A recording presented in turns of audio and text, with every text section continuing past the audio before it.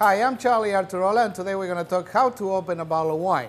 But before we open a bottle of wine, I would like to tell you a little bit about this great bottle that we have here. It's a Chianti Rufina from the Castello Nipozzano from the Frescobaldi family, one of the oldest families making wine in Tuscany.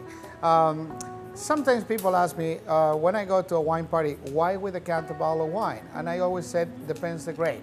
In this case, um, Chianti Rufina from Toscana is 100% uh, Sangiovese. It's a very um, astringent type of grape.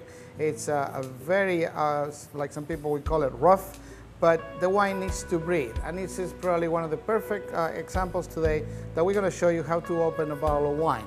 But before I talk about that, I would like to talk about the Sangiovese grape itself. Uh, Chianti uh, Rufina from uh, Nipozzano, from the family of Frescobaldi. They have been making wine from uh, the 1400 why the Frescobaldi today is the most important, I will say, families making wine in, in Tuscany. Uh, Italians has been making wine for maybe more than 2,000 years. But when we talk about the Nipozzano, it represents a very small area where this wine is made. Um, as I said before, this is a Sangiovese. We see the, the lovely little uh, government stamp right here that tells you this is a wine from a region that is guaranteed and controlled by the government. The pink label right here that tells us this is one of the sub-regions where Chianti is made in Tuscany. But we're gonna talk a little bit how we open the bottle of wine. Of course, there's many ways, but we're gonna show you a little bit more uh, when we start right now. So we go around the neck with the cutter of the wine opener. Try to get an even cut in order to make the foil. This is a perfect cut.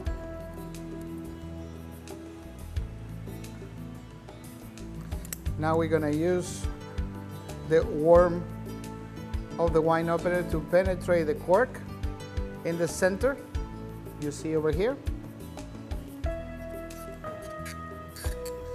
I remember my old days working on a cruise line, I opened maybe a hundred bottles every hour so you got to be quick and fast and try to please the whole crowd. So I'm trying to place the bottle on the table because this is important to make the next step.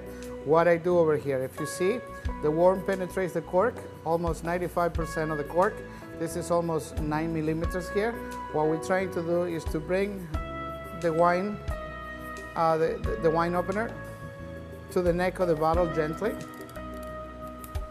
We're gonna make one step two step.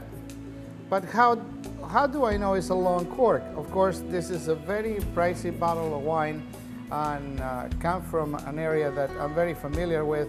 So I know that this cork is quite a bit long. So I'm gonna try to penetrate again the, the worm into the, the cork. And I'm gonna do another step so I have one more time to go into the neck of the bottle and just pull gently the cork. Voila.